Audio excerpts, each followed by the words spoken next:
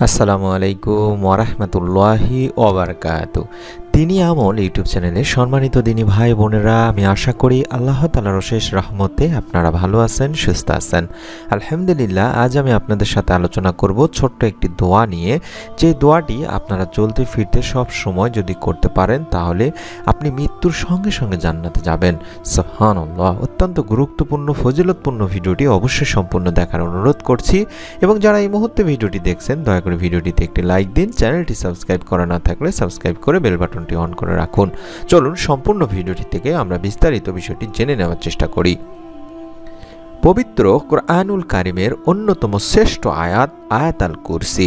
এই আয়াত পাঠের ফজিলত অসংখ্য। পাঠকদের সুবিধার্থে হাদিস শরীফে বর্ণিত আয়াত আল কুরসির ফজিলতগুলো এখানে আমি তুলে ধরছি।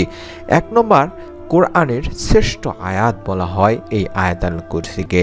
উবাই বিন কাব রাদি আল্লাহ তালাহু থেকে বর্ণিত হাদিসে রয়েছে, রাসুল সাল্লাহ আলাইসাল্লাম উবাই বিন কাব রাদি আল্লাহ তালাহুকে জিজ্ঞাস করলেন, তোমার কাছে কোরআন মজিদের কোন আয়াতটি সর্বমহান? তিনি বলেছিলেন, আল্লাহ ইলাহা ইল্লাহু আল হাইউল কায়ুম অর্থাৎ আয়াত আল কুরসি।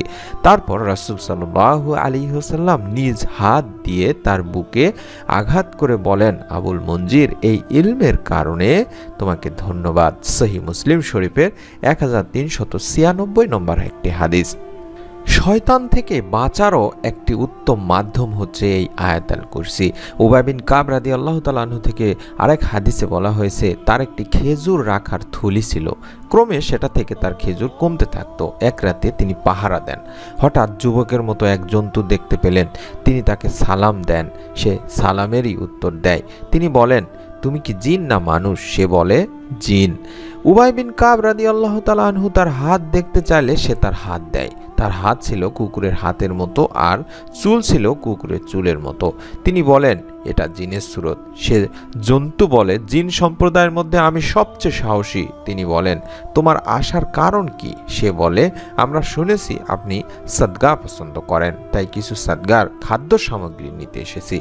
সাহাবি বলেন, তোমাদের থেকে পরিত্রাণের উপায় কি? সে বলে, সুরা বাকরার এই আয়াতটি, অর্থাৎ আল্লাহুল্লাহ ইলাহা আল হাইউল কায়ুম বা আয়াত আল কুরসি। যে ব্যক্তি সন্ধ্যায় এটি পড়বে সকাল পর্যন্ত আমাদের অর্থাৎ জিন থেকে পরিত্রাণ পাবে। আর যে ব্যক্তি সকালে এটি পড়বে, সন্ধ্যা পর্যন্ত আমাদের থেকে নিরাপদে থাকবে। সকাল হলে তিনি রাসুল্লাহ সাল্লু আলহিসাল্লামের কাছে আসেন এবং ঘটনার খবর দেন। রাসুল্লাহ সাল্লাহ সাল্লাম বলেন, খুবই সত্য বলেছে। সৈবনে হিব্বান হাদিস শরীফে বলা হয়েছে, সাতশত একানব্বই নম্বর হাদিসে বলা হয়েছে। এছাড়াও প্রত্যেক ফরজ নামাজের পর এই আয়াত আল কুরসি পাঠের অত্যন্ত ফজিলত রয়েছে। আবু উমামা রাদি আল্লাহ তালাহু থেকে বর্ণিত হাদিসে রাসুল্লাহ সাল্লাহ আলী হুসাল্লাম বলেছেন, যে ব্যক্তি প্রত্যেক ফরজ নামাজের পর এই আয়াত আল কুরসি পড়বে, তার জন্য জান্নাতে প্রবেশের পথে মৃত্যু ব্যতীত আর কোনো বাধা থাকবে না। সোহান আল্লাহ সোহান আল্লাহ অর্থাৎ আপনার মৃত্যুর সঙ্গে সঙ্গেই আপনি জান্নাতে যেতে পারবেন। নাসাই শরীফের নয় হাজার চারশত আটচল্লিশ এবং তাবারানি শরীফের সাত হাজার আটশত নম্বর হাদিসে বলা হয়েছে, এছাড়াও আমি আমার সম্মানিত দিনী ভাই বোনদেরকে আয়াত আল কুরসি আরও ফজিলত নিয়ে আলোচনা করেছি। আপনারা যারা আমাদের চ্যানেলের ভিডিওটি দেখেননি, তারা ভিডিওগুলো চ্যানেল থেকে দেখে নিতে পারেন। আমি এখানে আপনাদের সুবিধার্থে আয়াত আল কুরসিটি বাংলা উচ্চারণ দিয়ে দিচ্ছি। আপনারা চাইলে স্ক্রিনশট নিয়ে নিন। স্ক্রিনশট নিয়ে মুখস্থ করে নিয়ে প্রত্যেক ফরজ নামাজের পরে এবং চলতে ফিরতে বিপদে আপদে সবসময় আপনারা এই দোয়াটি পড়তে পারেন। ইনশাল্লাহ আল্লাহ তালা আপনাদেরকে জান্নাত দান করবেন, মৃত্যুর সঙ্গে সঙ্গে। আয়াত আল কুরসির বাংলা উচ্চারণটি হচ্ছে আল্লাহুল্লা ইলাহা ইল্লাহু আল হাইয়ুল কাইয়ুম লাতা খুজু সিনাতুম ওয়ালা নাউম লাহু মাফিস সামাওয়াতি ওয়া মাফিল আরদ।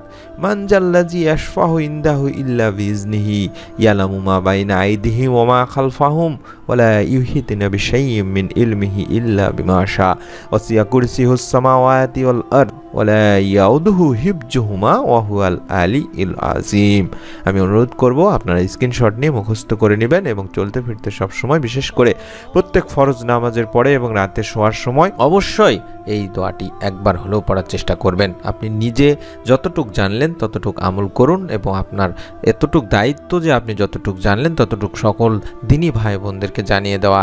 তার জন্য আপনি চাইলে ভিডিওটি শেয়ার করে তাদেরকে জানিয়ে দিতে পারেন। আপনার নিকট আত্মীয় স্বজনদের কাছে এইরকম ভিডিও পাওয়ার জন্য আমি অনুরোধ করব আমাদের এই ভিডিওটিতে এখন একটি লাইক দিয়ে চ্যানেলটি সাবস্ক্রাইব করে বেল বাটনটি অন করে রাখার। আল্লাহ তালা আমাদের সকলকে ফজিলতপূর্ণ এই আমলটি নিয়মিত মৃত্যুর আগ পর্যন্ত করে যাওয়ার তৌফিক দান করুন।